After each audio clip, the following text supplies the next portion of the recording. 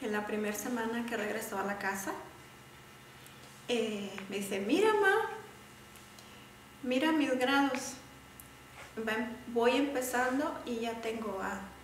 Oh, that the first week he came home, he was real excited and he said, Oh, mom, look at my grades. Everything is going so well. I'm just starting and I got an A.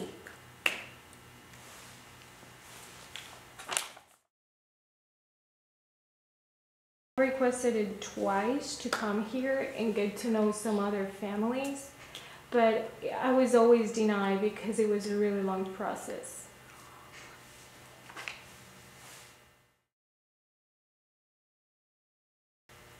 mirando la maestra y la intérprete aquí. Le mandando mensajes de texto. ¿A quién? No sé, pero ella estaba aquí. O sea, si es intérprete y está al lado de la maestra y Maiko está enfrente, Maiko tendría que estar viendo a la intérprete para saber 100% qué es lo que dice la maestra. So when I got there, I got surprised because I saw the interpreter sitting next to the teacher, and Michael, he was in front of them, but he was like sitting like this, all bored, waiting.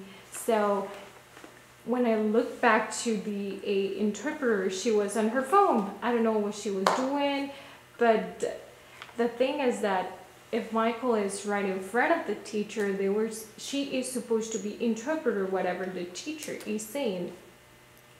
Maiko estaba tan desilusionado, Michael, he was really really sad.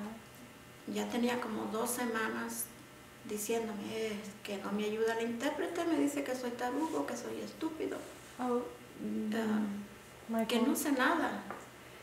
was telling her that the interpreter is not helping him at all, and she's telling him that you're stupid, you're dumb. She's not helping me at all. Es- ese día que habló con Maiko a las 4 de la tarde, yo iba llegando a mi trabajo cuando That day I was I was on my way to work, or on my way home, and then it was four o'clock in the afternoon, y ella me habla y me dice, señora, ¿sabes qué está pasando con Maiko? Digo, "Mm, ¿de qué? Then she talked to me and said, and she asked me, "Oh, ma'am, do you know what is going on with Michael?" And I asked her back, "No, what what is going on with him?" Le digo lo normal, le digo que tiene un intérprete que no le ayuda, eh, que está triste porque no tiene amigos. Just Ah. the normal gist of everything. He has an interpreter that doesn't help him at all, and he doesn't have any friends.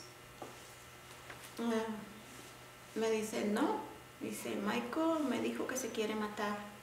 Oh. Then she said, "No. Well, Michael told me that he wants to commit suicide."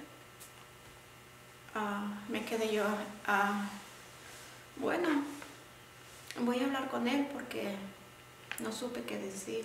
Me cayó por sorpresa. Then I said, okay, I'm, I'm gonna try to talk to him. I, I didn't know what to say because that was a surprise for me.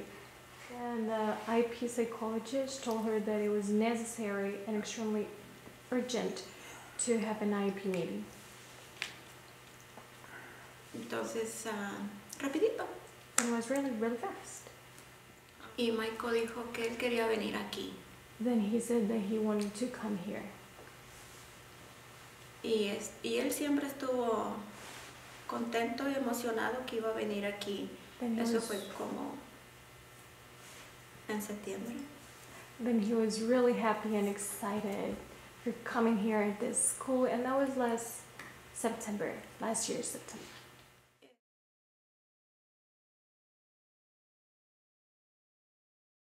Se tomen un día o una hora en sus zapatos. that you have to place yourself on his shoes. I mean, like, be him just for an hour or at least a day. Try to understand. Para que entiendan sus hijos cómo sufren en una escuela regular. So you can understand how your kids suffer on a regular school. Now, I recommend to the district or the principal that try to understand and I always try to say that to recommend Fremont for all kids because I've seen the improvement in Michael since the very first day. Gracias a ustedes por escuchar.